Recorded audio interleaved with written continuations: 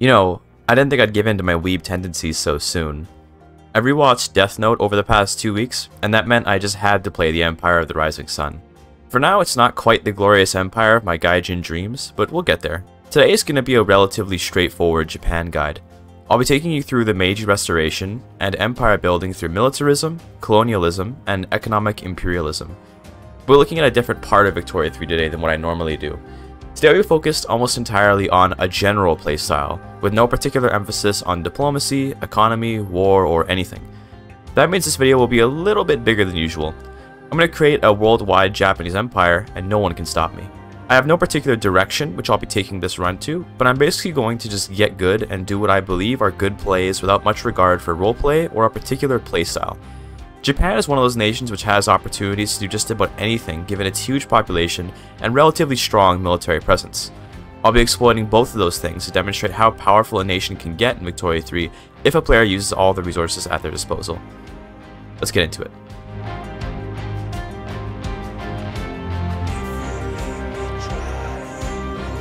Japan starts the game off pretty backwards.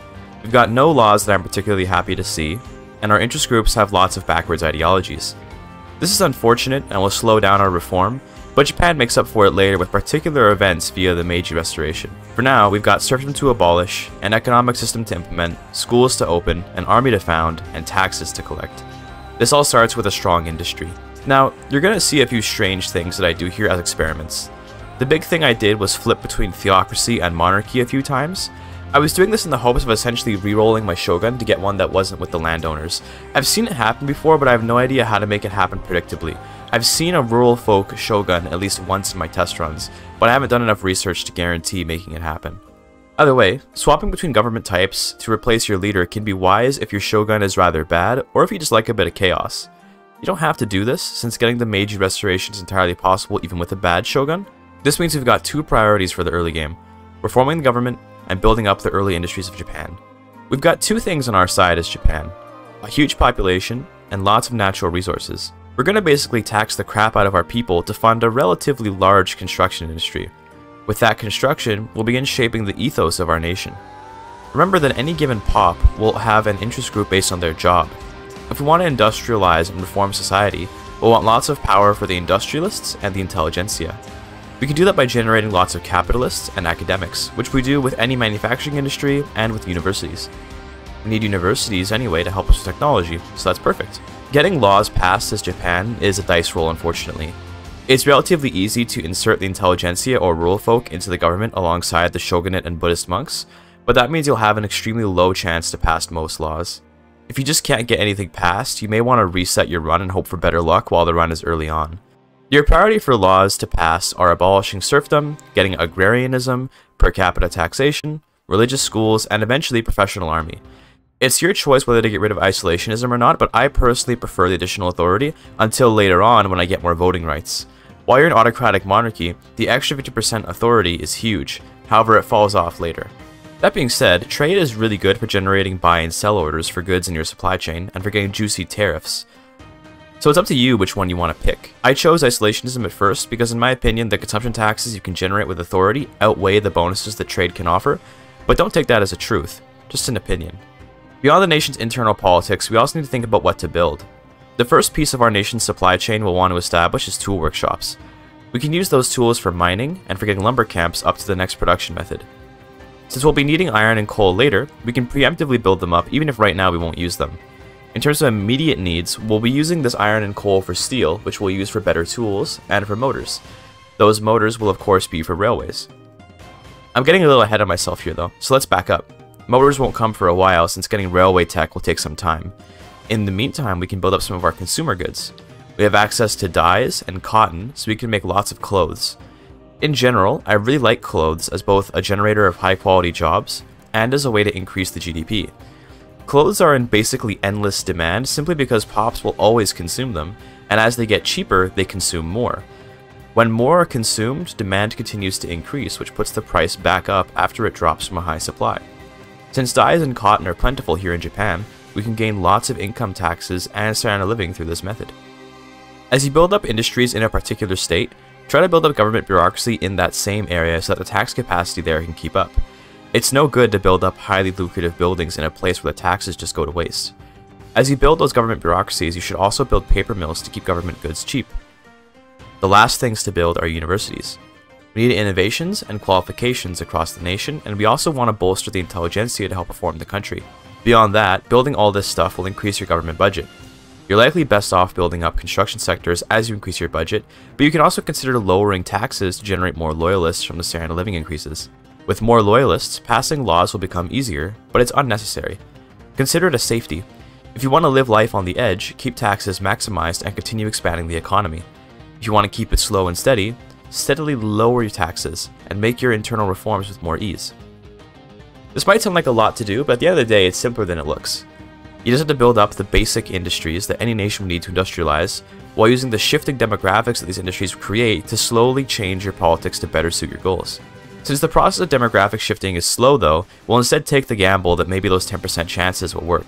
I essentially just did this for the first 20 years or so of the game. I focused entirely on the internal with no concern for the outside world.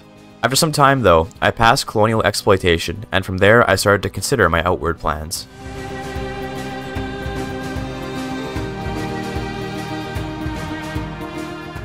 The economic base I had built up gave me much better interest groups. Although the shogunate was still powerful and in my government, the industrialists were quickly gaining. They were up to 20% clout by 1860, and with the industrialists still climbing, I was able to get interventionism. I'm just about ready to start up an arms industry that I could use against my neighbors, but I'm taking my time, since I have nothing really threatening me. At the end of the day, as Japan, no one will realistically come after you, since most great powers are too passive to attack you, especially if you've grown your economy how I have in the first 20 years. Eventually, the shogunate stopped being powerful, so I took them out of government and replaced them with the industrialists. Although my legitimacy is low, I have all the laws that I want now, so I'm okay with it. This was so that I could start progressing the honorable restoration. It will take some time, but any progress you make stays, even if it's not consecutive, so all time we spend without the shogunate in government is movement towards a better government. We'll talk about why the honorable restoration is good later on once it actually happens, but rest assured, if you can make it happen, it's amazing. In order to further ensure that we can keep the shogunate out of power, I instituted landed voting, knowing that most of my electoral base is composed of capitalists who will vote for the industrialists. I assumed I'd get a huge industrialist voter base, but something interesting happened in my case. When the elections began, no parties were forming, which was odd. Normally interest groups will band into parties relatively quickly. In my case, only one interest group formed a party, the intelligentsia. This meant that once elections hit, the only interest group with any amount of clout was the intelligentsia. I'm not complaining, I just think it was funny. Look at that, 95% clout. Not bad at all. The best part was that the industrialists wanted to join the intelligentsia's party. This meant I now had a party split between the two best interest groups, which together held all the clout in the entire country. I plan to do some experiments later on to see about making this happen more consistently one day, but for now, I don't know how this happened. I can only assume it was just dumb luck and no parties were created during the election. Once the industrialists joined the party, they had 60% clout, cementing their control and ensuring the shogunate was no more. Now I only needed to wait for the honorable restoration. Here I am in 1865 with all-powerful industrialist intelligentsia as Japan. Not bad at all. It was time to build up the arms, munitions, and naval industries so that we could look outwards truly. Luckily, Japan has lots of lead and sulfur for usage with chemical plants and munitions plants. Like I said before, Japan has lots of raw materials. Assuming you switched to professional army before, you'll have one of the most modernized armies in the game, with skirmish infantry and mobile artillery. You should reach for shrapnel artillery next, but that could take a bit of time, so don't rest on your laurels waiting for it. Instead, it's time to get a little bit of an empire going.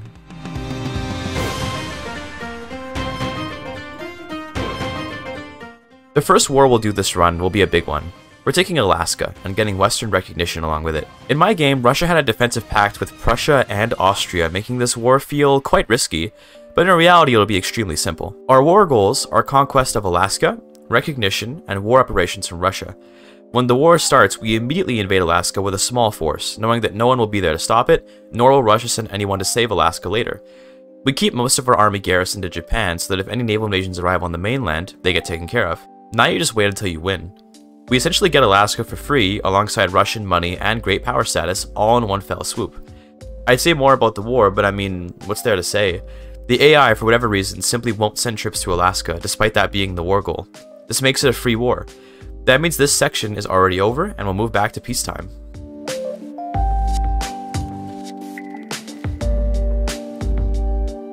With all this progress made, I chose to take some time while waiting for the Meiji Restoration to just build up the economy. This means getting new production technology and mostly constructing a consumer economy. Besides the extra naval bases, all of my goods will be consumed locally. I still have isolationism, so there are no foreign markets to sell to. In order to fulfill our pop's demands, we're gonna build lots and lots of tobacco, tea, clothes, furniture, and all the industries to support them.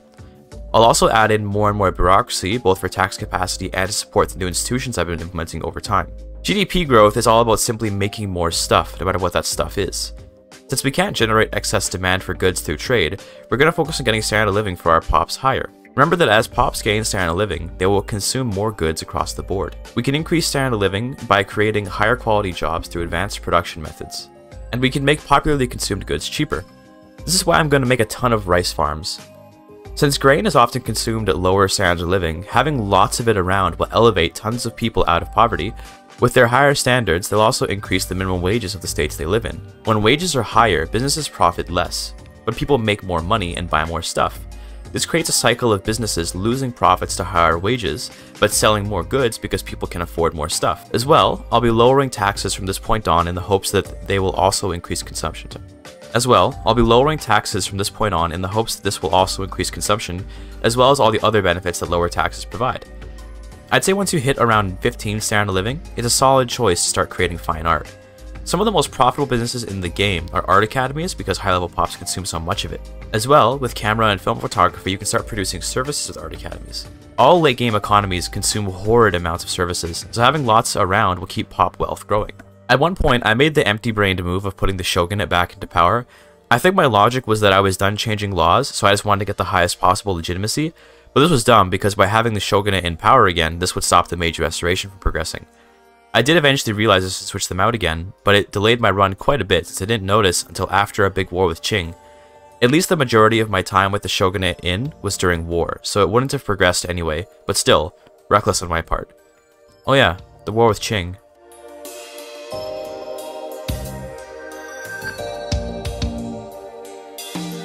One thing I've really got to praise Victoria 3 for is that it ends up encouraging you to go down the historical routes of most nations just by its placement of resources. One raw material you lack as Japan is wood. You need wood for just about every industry at some point in the supply chain, you need it for a big navy. What place happens to have a whole ton of logging camps available? That would be Manchuria. This means it's time for war with Qing. I have skirmish infantry with mobile artillery, and I'm pretty sure I could take down Qing, although they would turn out to be a tougher opponent than I expected, particularly because Austria came to their aid. I added war goals for outer, northern, and southern Manchuria, since those were the states with all the logging camps. I figured a direct invasion straight into Beijing would be the best option, but remember that Beijing has high infrastructure, so using your higher quality troops to win out against such a horde is tougher. Instead, I'll have to invade outer Manchuria and try to bait the Chinese troops to leave their garrisons in northern China. Since Manchuria and North China are different HQs, I could send part of my troops to Manchuria relatively easily, and then wait until Qing moves their troops to that front. Once they've done that, I can invade Beijing. At least that's the theory. Sometimes the AI doesn't feel the need to send troops out of the garrison because they have allies, like Austria in this case, to hold their fronts for them. I ended up landing in Manchuria only to be confronted by Austrian troops who could hold their own against me. Meanwhile, Beijing was still protected by Chinese troops, which I couldn't break through with a naval invasion penalty holding me back. That being said, I have no idea how the AI works sometimes because I just did the same strategy again, except this time Qing did send their entire army to confront me in Outer Manchuria. I'd have done the Beijing invasion, but I was actually able to push into all three states of Manchuria giving me control over all the war goals. Once I had that, I just sat in defense mode knowing that on the defense, I couldn't lose to Austria or Qing given the low infrastructure here. It was slow, but it would work, and I saw no reason to take any risks. I lost a battle or two here or there, but they never ended up kicking me out of holding at least a sliver of each state. Had I been the person playing Qing here, I'd be furious because I couldn't tell my troops which states to prioritize, but as the Japan player, I'm laughing at the fact that my men having the smallest piece of southern Manchuria lets me take the whole state. With Manchuria conquered, the wood shortage is over, and I've also got a couple million new pops to put to work. There's even coal here. Manchuria is a great grab for any power, but Japan in particular since it looks aesthetically pleasing, and we're short on wood here.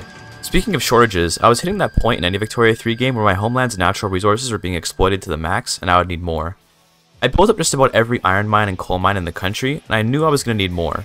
For now, I was fine, but the time was coming where I'd need a whole lot more if I were to keep growing at this rate. This is where colonialism and imperialism come in as necessary mechanics to not fall behind. Well, I say fall behind, but at 300 million GDP, I've already surpassed every AI economically. I'm only really growing more to satisfy the innate desire to see lines on graphs go up that all humans have. I set my eyes on Africa since I knew the scramble for Africa would be starting soon and some of the great powers had already started. I researched quinine and dashed for malaria prevention. It would take some time to get it, but in the meantime I noticed that South Africa was free from Britain. I don't know how it happened, but it did and I took the opportunity to strike. I puppeted South Africa without a drop of blood and then I went for Zulu and the Boer states. They actually did put up a fight, albeit a hopeless one. I was starting to hit the infamy cap, and I was faced with the decision that every imperialistic Victoria 3 nation has to contend with. Is infamy just a number, or do I care? It was my decision, at that moment, that infamy was just a number. It's unfortunate this is how it is, but infamy often ends up this way for any nation looking to conquer more than a small chunk of land. You'll end up being a pariah for the rest of your life. That means most nations will embargo you, although I am isolationist, and you'll have great powers constantly helping your enemies. Because of how war works in this game though, it's not a big deal.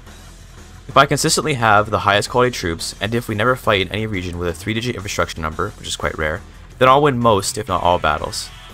It was also at this point that the Shogunate finally fell and the Meiji Restoration happened. It would have been slightly earlier if not for my little hiccup, but no harm, no foul, it's here now. When you get the event from the journal, you can either put the Industrialists or the Intelligentsia in power. I chose the Industrialists because I intend to continue growing the economy and to stay a monarchy. If you want to go communist, you pick the Intelligentsia. For the Fall of the Samurai event, I usually just take the Radicals because soldiers only compose a relatively small number of my pops, and they'll return to Loyalists eventually. It's better than the innovation gain malus. Now that Meiji Yamato is the Emperor, he's an industrialist, which means we can have them in power without tanking our legitimacy. This is why the Meiji Restoration is extremely good. Having an industrialist king is akin to having Queen Victoria. I'm not sure of any other existing nations that get an industrialist monarch. I know France has an intelligentsia king, which is also super good, but man, Getting super high legitimacy with industrialists is just so good. Anyway, we get new journal entries as part of the Meiji Restoration, two of which are already complete. I believe one of them had to do with that samurai event from before, but I don't know what the other one is. The final one is to end Sakoku law, which just requires us to open up for trade. At this point, I'm planning to liberalize, so I may as well get protectionism going. The extra tariffs will be nice, but I don't plan to do much trading, so I don't want to micromanage trade routes this run. I already did enough of that in my America campaign. Best part about becoming Meiji Japan is the new red color. Similar to Britain and how we've got Industrialist Monarch, we also get a nice red map color. While you have the Meiji Restoration Journal entry available, you'll get all sorts of random events, but to be honest, I usually complete the entry so quickly that I don't know what all the events are. There's one where you get to pick between siding with Asia or Europe called Which Way the Wind Blows. Since I intend to conquer Qing, the obvious choice is to side with the West, which I do. Upon completion of the Meiji Restoration, you get a renewed Japan, which gives you a few options to pick from, but the only good one is the one with claims to Korea. With those claims, what are we waiting for? Korea has tons of iron, lead, coal, and even more lumber for us, so I figured it'll be wise to go after them right away. They've got Qing to protect them, but we beat Qing once, surely we can do it again. This war would turn out to almost be a disaster for my nation.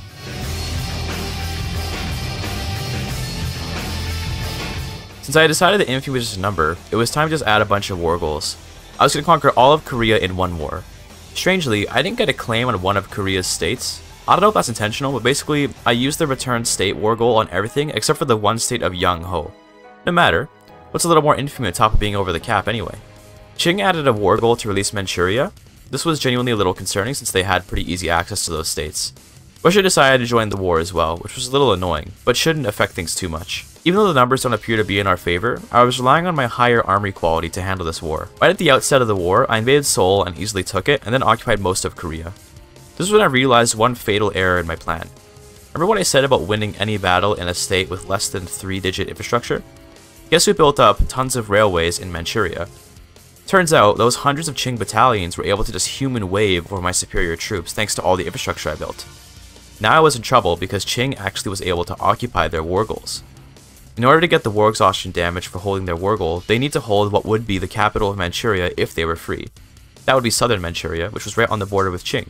This meant that even though I held all of Korea, Qing would drain my war support first. I had to go and occupy Beijing and try to take out their support faster than they could get mine. This wouldn't be easy, but the strategy from last time is what I would do. While all the Chinese troops were in Manchuria, I invaded Beijing and just kept pushing around that area, but it was useless. Because Qing had that huge head start on draining my war support, things looked hopeless. I wasn't one to give up though, and I wasn't going to lose this war. I had a trick up my sleeve. No, it was not to just wipe peace and try again. I was getting Korea this war, no doubt about it. I managed to occupy a pretty decent chunk of China, but I had to pull out my ace. Yeah, I just released Manchuria as a subject before China could liberate them. This way they no longer hold the war goal, since the war goal is no longer even part of this war, and I get to keep Manchuria, kind of.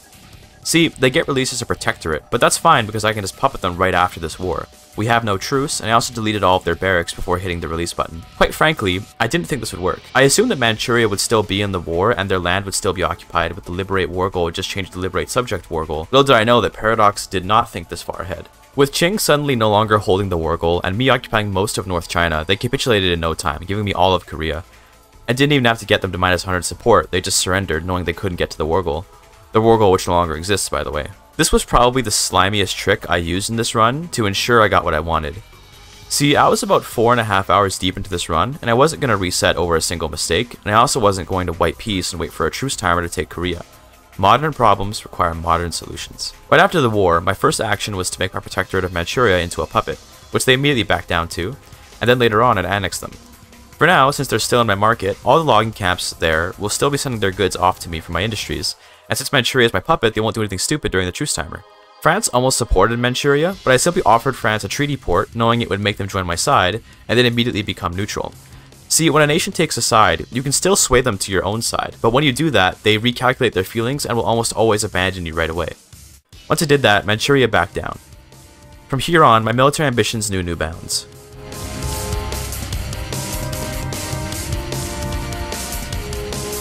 Anyway, from here it's mostly just puppet wars to get whoever looked juicy. I first went after Portugal, who also had the Merina Kingdom in the war. I added a puppet war goal to them too, knowing this would be a relatively simple war of invading various capitals until I won. Austria was in the war, but what were they gonna do? Because the AI isn't very good at naval invasions in most cases, you're safe off in Japan, while you just invade everyone else's capitals. It was also during this time that I got malaria prevention, so it was also time to colonize all of Central Africa. Most of it was still up for grabs. I also annexed South Africa simply for the map aesthetic. I did notice that America had taken most of the Congolese coast, so I quickly attacked the Congo Kingdom to get access to Central Africa before America could grab it all up. During that war, the Italians actually did manage to land in Tokyo, but it didn't really matter since I was able to white peace the Congo's remaining allies before they could enforce anything on me. I also decided that since I was going to have all these puppets, I may as well extract their pops. I put in multiculturalism and total separation of church and state so they'd start mass immigrating to Japan. Russia tried to cut me down to size one time, I just fought them in Manchuria and won with ease of course. I also had a couple native uprisings with various great powers supporting them. Those ones were frustrating to deal with, but I did eventually get through them. I also brought Manchuria properly back into the fold after their borrowed autonomy from me. I puppeted Australia and did many more native uprising wars, all the while building up the economy more and more using the same loops I had mentioned before. Even though I have protectionism now, I still didn't do much trading, electing to protect the domestic supply of all the trade routes the AI made with me, so I could make some tariffs and prevent any big shakeups to local market prices. It wasn't until I attacked Qing again that I had a war with any real stakes come up.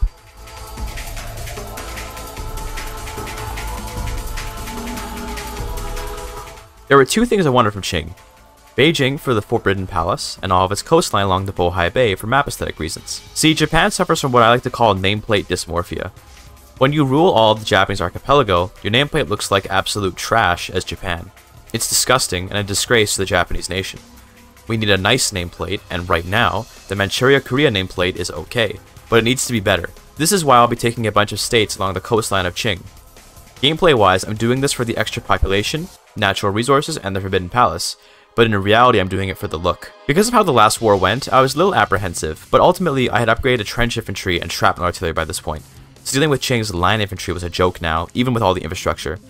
I was just grateful Qing didn't back down, which was thanks to Russia joining the war, if they had backed down, wouldn't be able to get a nice coastline as easily. Anyway, the war was uneventful for the most part. China's lines collapsed quickly, and I got the land I wanted after some time. Qing always takes a long time to lose war support because how big they are, so any war against them will take some time. By this point, I was almost at 1 billion GDP, but more importantly, Japan's name spread much more nicely across East Asia. I then continued the puppeting spree, and added Egypt to my collection. There was a little hiccup with France and Italy during this war for Egypt, where they wanted to free Hokkaido and I couldn't get a foothold in France, and they managed to get a landing in Tokyo, and I was simultaneously fighting a native uprising in Africa, but the French and Italian navy sunk all my convoys, and blah blah blah blah blah. In the end, I just white peaced eventually, once France's war support got a little lower. More importantly, I completed the Open Arms journal entry, which let me get a permanent migration attraction modifier. This would let me steal even more pops from my puppets, which I could put to work back home. I next puppeted the United States, which lost control of New Africa and even lost Texas to Mexico. It was a sad USA, but a USA nonetheless. You might be wondering how all these big nations are ending up as major powers and not great powers, by the way. This is because of how great power status is calculated. Basically, you have to have a certain amount of prestige based on the amount of prestige all the great powers have. I'm not sure what the actual formula is, but basically my massive prestige is inflating the number so that many nations which would normally be great powers end up as major powers, and the vast majority of nations are ending up as insignificant powers. The prestige needed for any given prestige rank is based on that calculated number, allowing me to puppet most nations easily since they often back down in fear of me. From here, there isn't too much to say. The game started to get super laggy from all the population migration, but I kept on keeping on to demonstrate how powerful Japan can be. I went off and puppeted the Netherlands, Belgium, Mexico, New Africa, and the British Raj in a relatively short time. I then immediately annexed the British Raj so I could access all the raw materials and let their pops migrate around since they had migration controls on, preventing their pops from coming to Japan. At this point, I've been the world hegemon for a while, but I'm officially declaring it with this annexation of British Raj. At this point, I'm completely unstoppable, but just to stick it to the great powers, I decided to become a council republic. Except that it would have sparked a civil war, and actually I'm way too lazy for that, so I stayed a monarchy. I instead decided to attack Germany for Hanover and Elba since they have oil, and I was going to make them release Prussia since that would be super cursed. The war was tough, but I was slowly pushing through. Unfortunately, Germany's capital was in Silesia for some reason, so reaching that was pretty slow. My attempts to destroy Germany were stopped by their own lust to destroy themselves, unfortunately. As I was about to reach Silesia, they had a huge revolution, which meant suddenly their capital was landlocked. Oh well, I just pieced out for Bohemia's release and then went on my merry way. I'll be honest, I was a bit upset, but I remembered that I did a similar thing to save myself from Qing before, so if I can do it to someone, they can do it to me, I guess. I took up my rage on Britain by puppeting them, except they did the exact same thing to me that Germany did. Even worse, Britain backed down to become my puppet, then subsequently backed down to their own revolution, becoming independent from me. Because that revolution started before they became a puppet, I couldn't join their side. An overlord can only join their subject in a war during the opening phase, not the middle or end phase. Not to worry though, I just puppeted the New Britain, and they also backed down. I then puppeted Canada. As one last hurrah against the great powers, I puppeted France, who also simply backed down. From there on, I didn't do any more major wars. I annexed Algeria at one point so I could colonize what was left of the Sahara, and that was all war-wise. I did continue developing the economy, and I almost reached 4 billion GDP, before deciding I was done with all the lag, and I ended the run. I made it to 1912 before giving in, which is almost a complete game. So that's Japan. I took them down a powerful path of war and imperialism using some shady tactics. Japan is lots of fun to play and has the opportunity to become an insanely powerful nation if you can get their early game right. Their ability to access an industrialist monarchy is a huge boon, and their relative safety as an island nation makes it easy to conduct war safely. Given the right guiding hand, Japan can become the greatest power on Earth, and all it takes is a little bit of imperialism. That's Japan's one real weakness. You do have to colonize or imperialize for raw goods, but then again, what nation doesn't? I suppose Qing, which by the way, if you want to see Qing's power, check out my guide to economy building. If you enjoyed the video, consider checking out the other guides. I'll likely do some more nation-focused guides like this one in the future, since I've covered almost all the major gameplay facets of Victoria 3 now using great powers. Thank you for your time.